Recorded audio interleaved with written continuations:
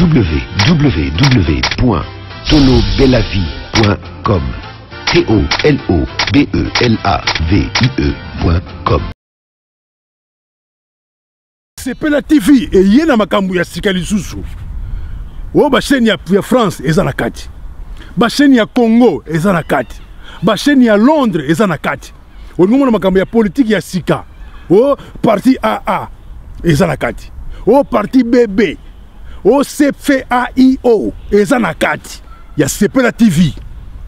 buke ekomi kaka ya moke boye otye na poche voyage na yango okende parti olingi na buke na yo ya sepela tv sepela tv mema biso ndenge ozomema biso wana kaka mashine madakadaka sepela tv bienvenue dans le monde sepela tv sepela tv et le décodeur qui vous permet de suivre les chaînes du Congo en direct de la diaspora. bana congo topesi bino mbote partout bodisposaka batemp ya kolanda biso à travers euh, tolobelavi officiel.com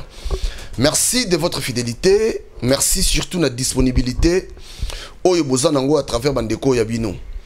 ntango tosololaka boye nasantaka mpenza ke naza en famille nasantaka mpenza ke naosolola na bandeko ya ngai eh. nazoloba chaque fois makambo ya kongo tobeta yango kara te il faut tosalaka effort tomeka kosolola makambo ya kongo tozalaka na mboka moko ya mibale te so tozali ta mosusu na mboka mosusu ya réserve mais biso toyaka na mboka moko alors makambo ya mboka na biso ya fo tolandela yango bien mpo mboka wana engindisi bato mboka nde ngindi sali epesi bato mosusu baopportunité moko oyo bana kongo bana, bana kongo bango bazwi yango te siko bana kongo ifo basala nini bana kongo fo bafungola miso na makambo oyo merci na grande équipe ya tolobela vie tobenga bango base 4 fois prêtre washington le grand pays ah. mitador malumbi système ya kung fu asalum rock and roll tout de suite kutu ozala na yo déjà shimanoka eric pdg authentique pourquoi ne pas toloba merci na notre réalisateur steve malungwene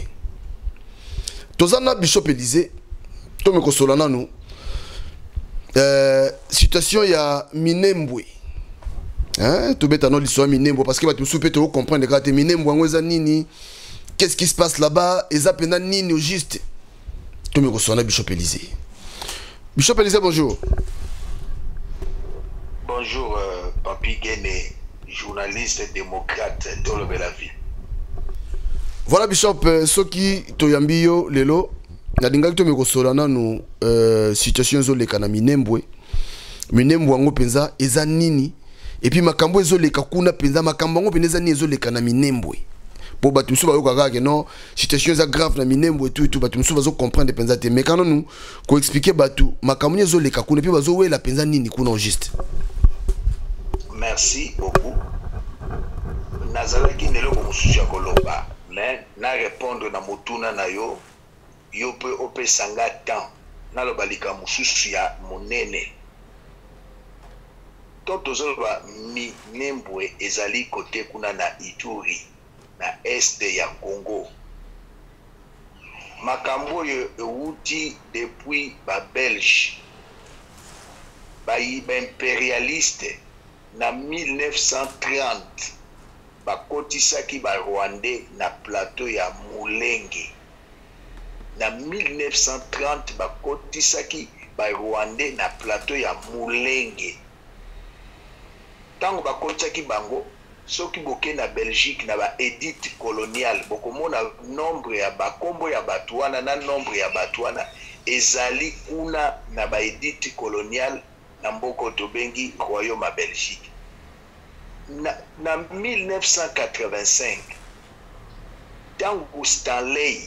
enregistraki ba ethnies kuna na na na est na plateau ya Mitumbu, Ituri jusque au nord Tanganyika bato oyo babengi ba, ba, ba munyamulenge na Congo ezalaka te. Toke na conference de Luluabourg en 1964 ntango otali makambo totala makambo ya nationalité ya mboka na biso oyo babengi ethnie ya Banyamulenge ezalaka te. Stanley na 1885 asalaki recensement kuna na est bikolo wana ya est toyebi yango peuple congolais bolanda nga malamu na mboka na biso congo on appelle le peuple par leur langage nalingi naloba nini ntango balobi baluba baluba balobaka chiluba bakongo balobaka kikongo bamongo balobaka kimongo bapende balobaka kipende Bangala balobaka lingala, Basuku balobaka kisuku, ba bandande na est balobaka kindande, me banyamulenge balobaka kinyamulenge te, bazoloba kinyarwanda. Na Congo tozali na ba ba bantu, semi bantu, pygme na semi soudanais. Ba nilotique na Congo bazalaka te. Tokoki jamais ko changer histoire ya mboka. Ba situation geographique tomona e changer neti ba URSS ekomi Russie ba mboka mususu ebimi bimi ba situation geographique e changer.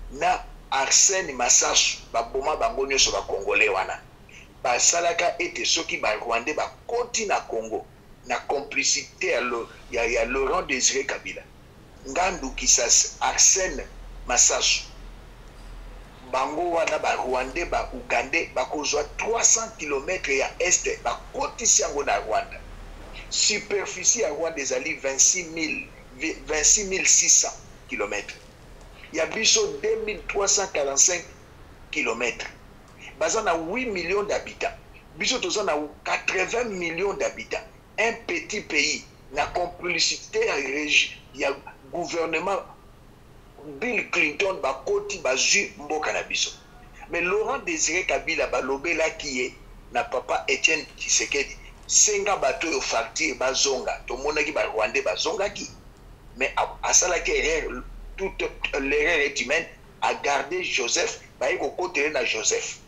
toye komona dile ya mibale bandeko na biso jean pierre bemba eza histoire basali 1 plus 4 barwande oyo bakendaki bazongi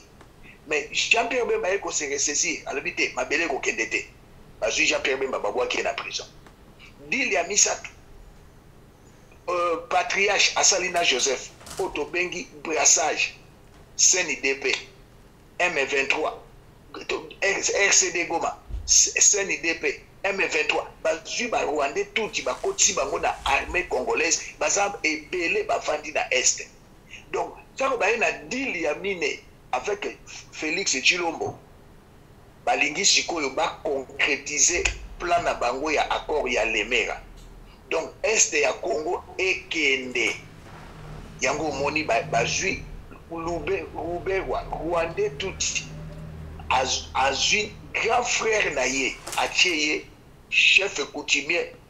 Kuna na mi,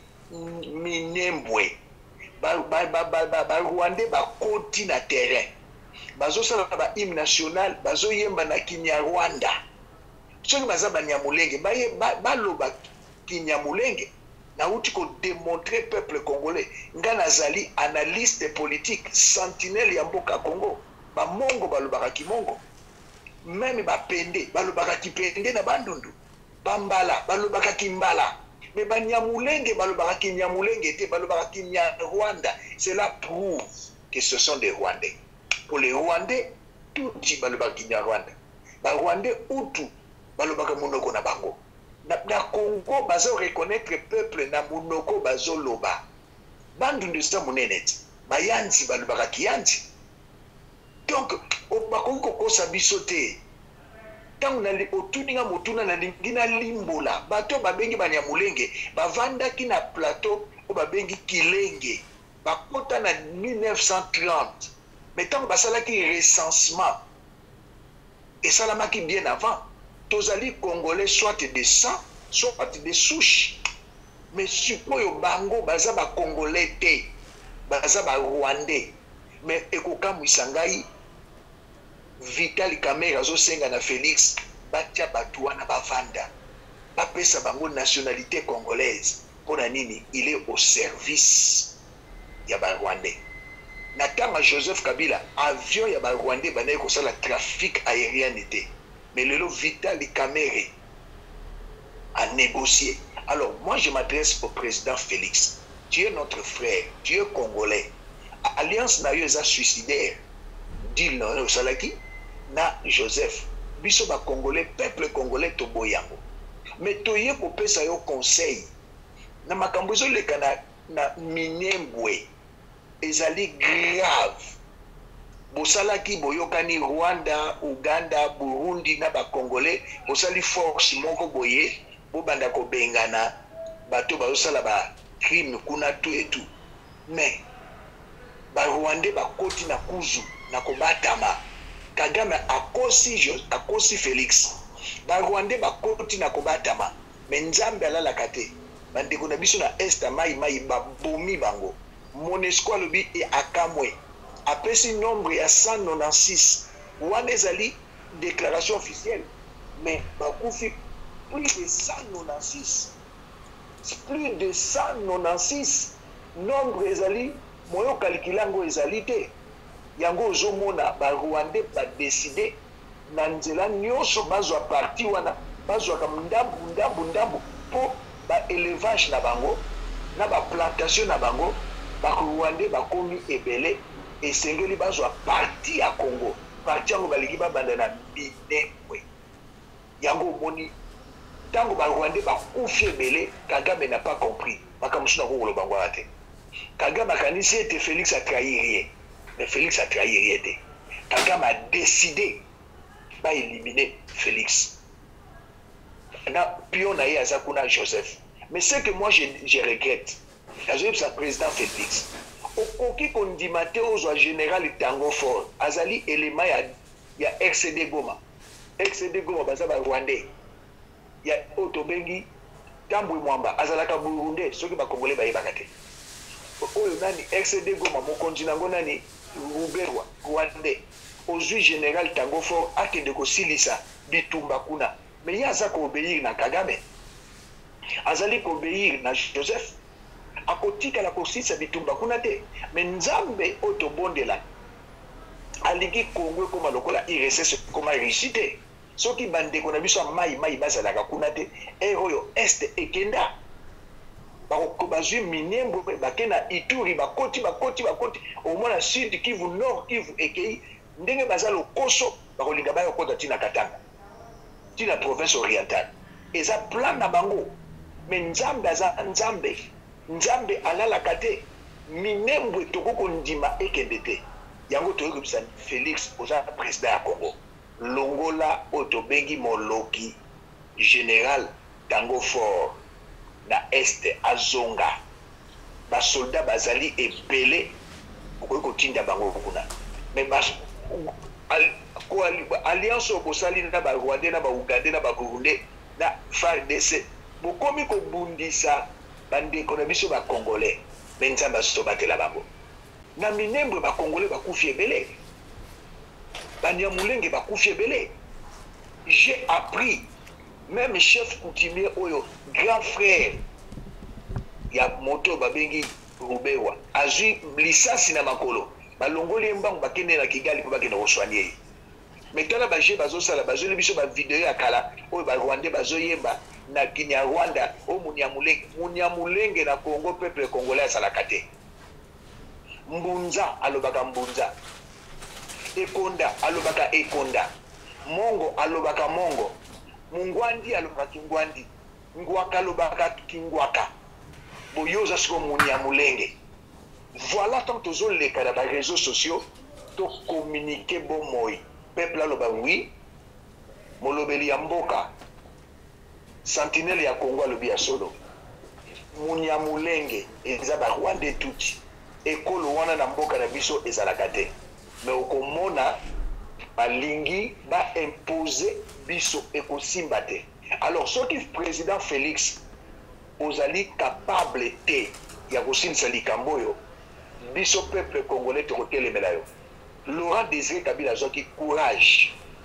azongisa ba rwandais oyo batya ye na pouvoir yo mpe zwa courage ya kozongisa ba rwandais babima na mboka na biso oyo bazali na armée bazali na police kanyama ayebi bango didie tumba ayebi bango borepertorie bo basu rwandais nyonso baza na police baza na armée baza kookipe kaka babengi logistique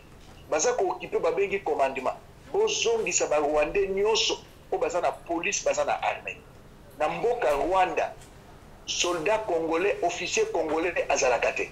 zongisa bango lokola papa na yo etienne tshisekedi wa mulumba ayebisaki kabila laurent laurent asalaki yango azongisaki bango c'est ça la situation qui se passe na mboko tobengi minembwe kuna na, na, na est ya congo balingi mabele wana ekoma ya bango Ruberwa depuis un plus quatre nalobaki epai na yo nazongeli president Felix tuna mwana mboka Jean Pierre Bemba ndako ya Ruberwa ekangama na, na primature ti lelo aza na ba garde de corps ya ba rwandais Ruberwa aza na ba garde de corps ya ba rwandais kende kuna zwa ba rwandais wana zongisa bango na mboka na bango zongisa bango na mboka na bango c'est ça la situation qui se passe à minembwe mais okomona bacongolais ya pareko bacongolais mosusu mitema mabe olie baexplike peuple congolais la vraie situation baza koexplike peuple congolais la vraie situation te yango omoni kagame akamwe koma plus de 300 400 500 matanga eza na rwanda kagame efashe alobi to elimine mutu oyo ba elimine Felix po ba comprendre te basololaki ndenge mosusu oui bosololaki ete basoda rwandais ougandais burundais na basoda frdc bakende kotrake bamilisi oyo kabila asala na kati kuna oyo baye baviole basi babomi basi bayibi bantaba bake nango na zamba bavandi na bana basi wana mai ntango boyokani ndenge wana yo na ndenge ya, ya, ya, ya Nyarwanda na bino ba rwandais ba milotique ozui ba soldat ba koti ya kobatama po bakende kobotola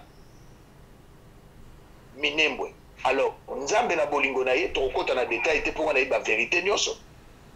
basilisi ba rwandais lelo na bopito ya rwanda basoldat bakufi Kagame azo koka koyebisa ba bota wana te, azo ko koyebisa pe parlement te, po na Rwanda c'est la dictature, azo ko koyebisa pe ba ndeko te que ba soldats ba kufi ya ko kufa. Avion moko petit porteur eyaki ezui ba soldats rwandais oyo ba kufaki, ba ba avion decolle kaka bo esali etutani na nzete, avion epanzani. Donc situation ya Minembwe toko ko ndima te Minembwe ekende na na Rwanda wana okozala sous president te peuple akotelemela yo rdc mobimba ekotelemela yo oza na pouvoir moko te ya kopermettre congo na deal na bino ekende na este este ya congo ekoma na, ekoma na mboka oyo ekoma rwanda oza na pouvoir wana te oza na pouvoir wana te Na fongoli parenthèse. Président Félix a nommé ba deux administrateurs ya CNCC na ya Biba et pardon na ya Jekamin. Ministre ya portefeuille ya Boyi basala. Mais osali osali oyo tobengi interview le 29 na RFI na France 24. Osali susu message na le 30 juin. olobi barwandais baza na territoire ya congo te me barwandais bana congo na territoire ya congo politique démagogique président de la république toboyi président akosaka te président alobaka ya solo barwandais baa na congo te barwandais soldat rwandais armée rwandais eza na congo outi kosala yango le 29 na le 30 baza na mabele na biso te mais soki obandi kokosa wana ekomi trahison yo oza président ya république okoki kokosa te wana ekomi trahison Donc voilà situation ezo leka na Minembwe yango wana. Mboka na biso toko ko ndima jamais ekende. Bayebaka ba Congolais na munoko pa mboka. Soko lobi baza batandu, ba Congo eza munene. Batandu balobaka kitandu. Bayombe balobaka kiyombe. Banyanga balobaka kinyanga. Bis besingombe balobaka kibesingombe. Baluba balobaka kiluba. Basuku baza na bandundu balobaka kisuku. Bapende balobaka kipende. Bambala balobaka kimbala. Me ekomi sikoyo na banyamulenge bazoloba kinyamulenge te pourquoi? Po bazoloba nini kinyarwanda. Ce sont des rwandais. Ce sont des nilotiques. Bakende opesa bino mabele pona nini? President Felix consequence eteyaka koleka conseil ennemi na yo numero 1 na présidence ezali oyo obengi vital kamere idps aza na besoin ya inc te olongolaki signature na, na bandeko na yo bagrand poisson moïse katumbi jean pierre bemba bandeko mibale wana bango nde bagrand poisson moïse katumbi aza na ensemble jean pierre bemba aza na mlc congo mobimba ensemble eza congo mobimba olongwe o signe lelo pas meme 24 heures o retire mais mpo na nini okoki ko retire signature osala alliance na yo osala na inct okoki mpe kolimoge c'est-à-dire na lingala mposo nalobi kolimoge joseph kabila okomprendre te kolongola dircab na yo kamere kamere oyo nyonso ozosala toyebi ozo ba dossier nionso ya presidence ozo tinda yango na France oyebisa ba français ba préparer candidature no na 2023 okozala candidat na 2023 te nakoloba mingi te nakoloba mingi te situation mine, ya minembwe kamera ayebi yango situation minembe pro, ya minembwe provoqué par oyo babengi ruberwa les rwandais tuti kagame ayebi yango yango basali plan na bango sikoyo ba eliminer Felix mais okomona na ba réseaux sociaux bato mosusu baza ba, ba flatteur ba hypocrite balobi ekosalama te mais nakoloba na bato boye plan B ya ba Rwanda ezali yango oyo balingi kamera koprovoke bakende mbujimai na dernier minute ya kotikala President Felix mikolo kokende Mbujimayi te kokende Kananga te nakotaliso plan B ya ba Rwandais balingi okende Kananga surtout Mbujimayi olekaka na foule ozopesa bato bambote president français Sarkozy papa azopesa bato mbote mundele ya français alobi nde nakopesa mbote te maboko na eza salite Sarkozy abenga ye con toke oyebi liwa ya Kennedy Kennedy Baboma ye azo leka na cortège. Soit disant assassin na ye. Le presume assassin. Baboma ye po verite ebima te. Nako yebisa yo boye. President Felix nazalaki na Kisasa naza kinois. Oyebi mwana elenge oyo depute provincial mwana general Boteti ndenge nini baboma ye? Na Kimbuta. aboya kaka corruption awuti matanga na mbinza pigeon azoya na ma campagne batia libanga munene kimbuta azwa ba prisonnier ba soldat prisonnier na prison apesi bango mbongo babimi babomi boteti bazongisi bango na prison bamenage babongiseli bango place batieli bango television basi bafotaka kuna ba prison na prison nazoyebisa yo naza sentinelle ya mboka congo sentinelle aza sinzili Tanga na, na Ezekiel chapitre 3 verset 17 à 27. Je suis le, naza sentinelle, la sentinelle ya RDC. Nazo koyebisa yo oyo ba, ba conseiller no mosusu bako koyebisa yo te. Bakobanga. Nazo yebisa boye. Plan B balingi okende Mbujimai, kamera yebi yango. Soki okomi na Mbujimai, avant kende bakoluka prisonnier, soldat prisonnier. na prison ya Mbujimayi, bapesi ye mbongo, bapesi ye basi, balangwisi ye. Tango yo okokita na Mbujimayi na kati ya foule, president Felix Tshilombo, na kati ya foule, bato oyo ba preparer bango bakoya na na aza mpe Kasaïen lokola yo. Bazwi soldat na prison, baye na ye balatisi ye bien, azoya, ozopesa kaka bato mbote boye, abimisi abeti yo masasi ata 7 na mutu. peuple epanzani population bapanzani oyo bazalaki nzinga nzinga na ye babomi ye balobi bandeko na ye kasaye babomi ye na kati ya fulu naza flike bato mingi balingi te yo okufa meme nga nalingi okufa te papa tshisekedi auti okufa bakongole bazokufa matin midi soir tolingi bamatanga lisusu na congo te Tala kabuana na kamere longola alliance na yo na kamere resilie euh, contrat na yo na joseph ozobenge partenaire mais aza partenaire na yo te azomona yo enemi baye nyonso basala baalliance na barwandais baboma bango jean pierre asala 10 ans na prison baza babantu te bantu azali peuple aza na bolingo bantu aza peuple abosanaka likambo noki mais banilotike baza bafils ya serpent bazalaka na mawa te baza bana ya, ya, ya satana toboyi barwandais bazala na armée na police mpe miniembwe ekende plan b ya barwandais balingi yo kende mbuji mai bakobimisa prisonnier soldat na prison ba, même une semaine avant baliesi ye bapesi ye babasanga alangwe abimi na basi aya koboma yo mpe bango bakoboma ye yebisa ngai Congo eza divise, peuple toza uni te. Bato mosusu na kotanga bakombo te bakosepela na liwa na yo, me ngai nakosepela na liwa na yo te. Je ne suis pas de l'IDPS. Je ne suis pas de l'IDPS. Mais nakosepela na liwa ya Congolais ata moko te, makila etangi nini? Alors eza regrettable soki oke Mbujimayi etali yo. Tika pe makambo ya ba foule wana oleka na ba poto pesaka bato ba mbote baza na plan B antibale ezalaka na nzoto mais ezalaka na mutu te pe na lingi na biso message ya nzambe yo oza chretien na Philadelphie epa ya pasteur na yo kuna Roland Dalo nzambe aza nzambe ya melange te singa loketo eza ya nzambe te nazolobelo na parabole cable na maboko bougie na chambre moko boye bato bakotaka te eza ya nzambe te mandat no eza une fois renouvelable mais lola ezalaka renouvelable te eza libela na libela soki oza na matoi ya koyoka nga président félix yoka nga soki oza na matoi ya koyoka nga yoka nga soki okoti na baloge bima yo oza chrétien loge ebatelaka te shadrach meshak abed nego Baboyaki kofukamela banzambe ya ba-Babilonien, Nzambe abatelaki bango. Daniel, balobaki nasambela te, asambelaki, Nzambe abatelaki ye na libula bankosi. Nzambe wana aza lolenge moko lobi, lelo mpe libela. Felix Tshilombo, bayo baye bakotisi yo na ba-loge, babombi yo. Napesaki yo conseil, oyokaki te. Mais pasi na motema, naye koyebisa yo lisusu. Okoki kosala prière o arreter malediction te. napesaki yo baexemple misato yo okoki kopambola libala na eglize moko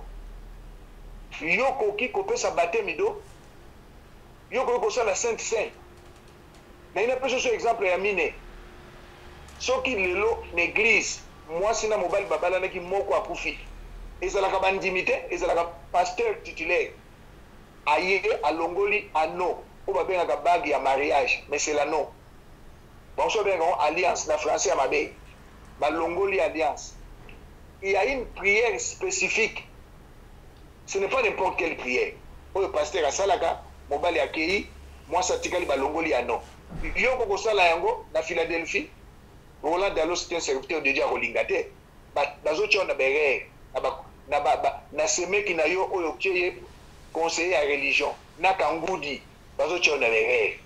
na mukuna tika ba biloko oyo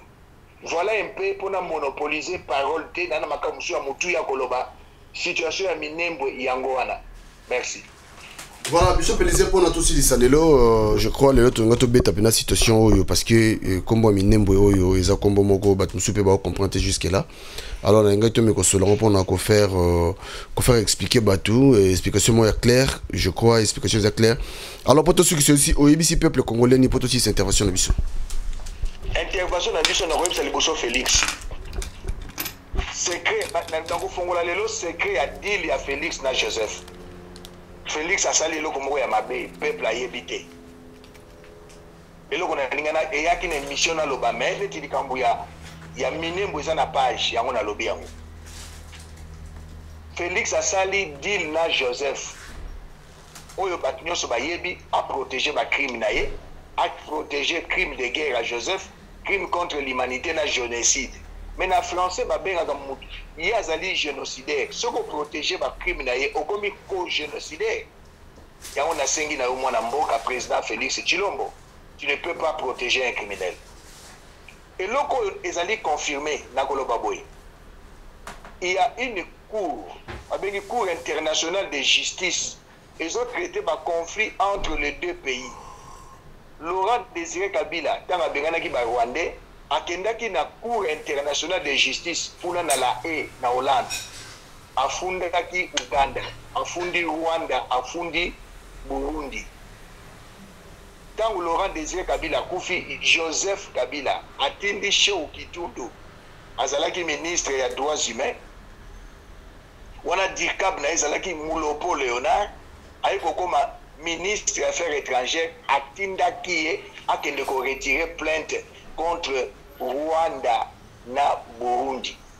Batikaki ya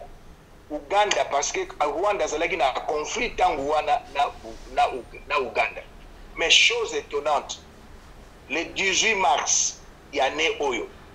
na, ah, le 18 mars au 22 mars, procès lingaki kozala entre RDC na Ouganda. Cour internationale de justice, nalobi Cour internationale ya CPI te, Cour internationale de justice Je suis analyste politique ezali ko traiter ba conflits entre deux pays le 18 mars oyo le jusqu'au 22 mars RC, rdc balingaki basamba na uganda c'était prévu uganda afuta congo 10 milliards de dollars eloko ya kokamwa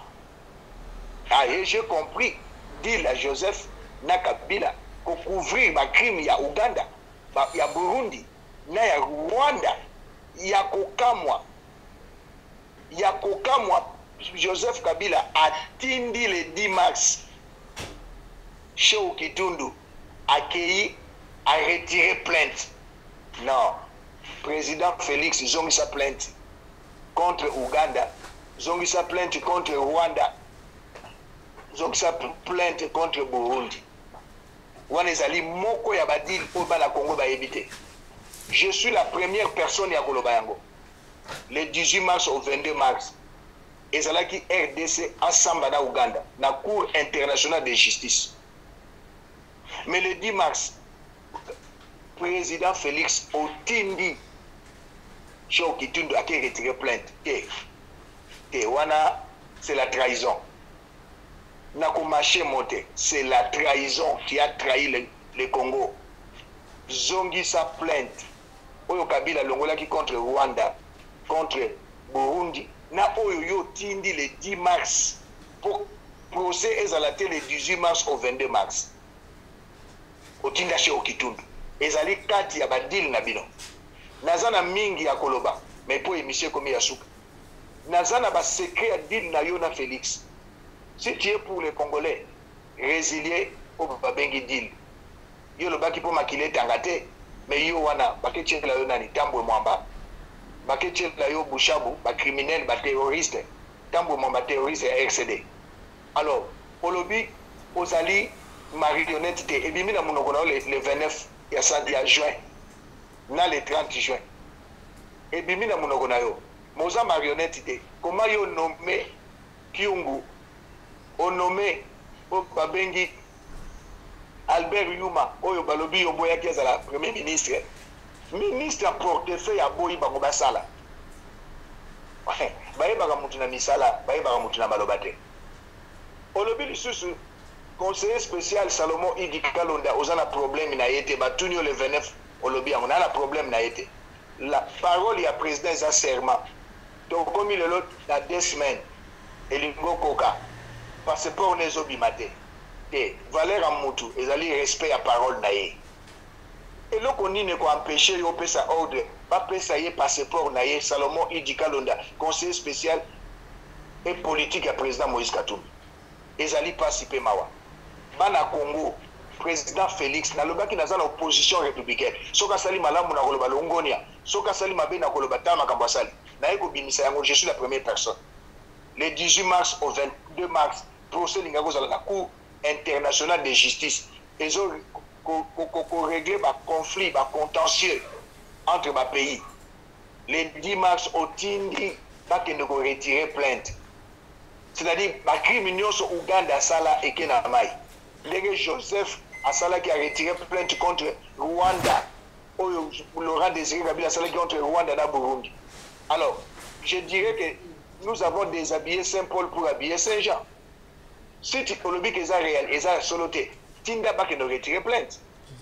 mpe kondima te na ba ministère regalien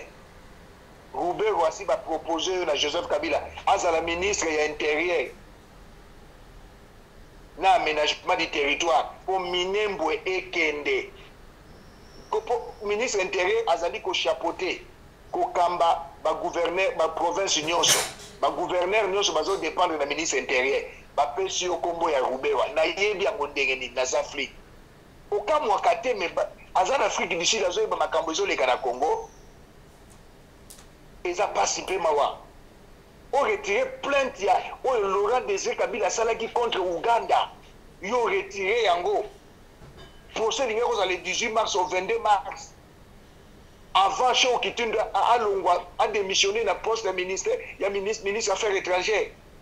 yo otindi bake ko na le 10 mars chez okitondo akei a retire plainte bana congo c'est inacceptable wana nasimbeli yo président biki rouge soki osali malamu nakosimbeli yo biki bleu je suis opposant républicain nasala opposition républicaine naza mpe résistant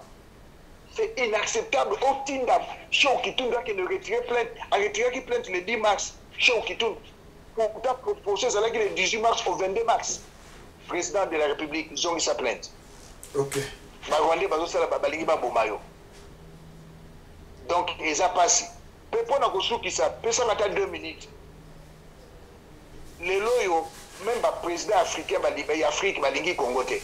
nakolimbola yango mpo biso eza, eza makambo ebele oza mpe na, na, na misala osalaka mpo na poto obetaka libanga na yo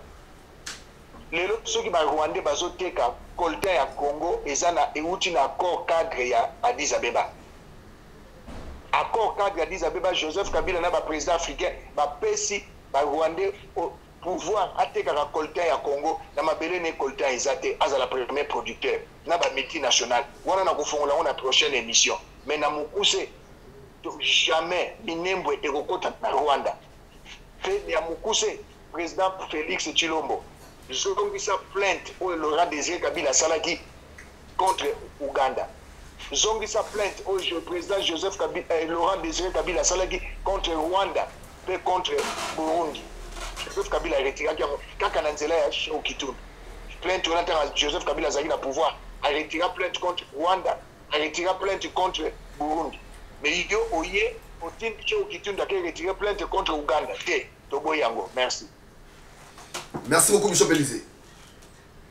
merci euh, euh, tolobela vie journaliste démocrate